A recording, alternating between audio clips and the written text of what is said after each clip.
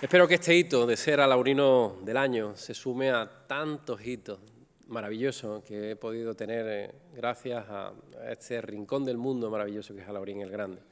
Humildemente intentaré contribuir a la grandeza del nombre de este gran municipio.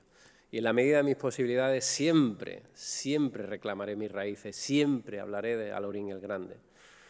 Porque uno tiene que saber de dónde viene, si quiere saber a dónde quiere ir. Aquellos que desechan sus raíces, aquellos que las desprecian o las ignoran, probablemente no sepan dónde quieren ir. Yo tengo claro dónde quiero ir. Y quiero ir siempre con una mochila a mi espalda. La mochila de mi pueblo, de Alaurín el Grande, la mochila de mi gente, la mochila de mis costumbres, la mochila de las herencias, la mochila de lo que me ha hecho sentir y vivir como soy. Por eso quiero daros las gracias.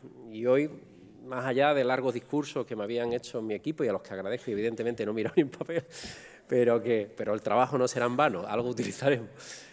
Pero hoy no era, no era el día de, hablar desde la cabeza, desde la institución, hoy era el día de hablar desde el corazón. Y todo lo que he visto, todo lo que he vivido, todo lo que he sentido, todo lo que he soñado, nace aquí, en Alaurín el Grande.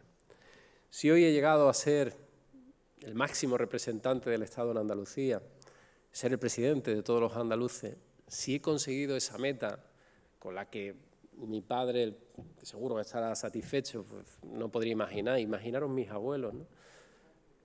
lo que pensarían si me vieran ahora. ¿no? Si yo he conseguido llegar a esto, no es por lo que yo soy, es por lo que sois vosotros, es por lo que es Alaurín, es por lo que me habéis hecho sentir.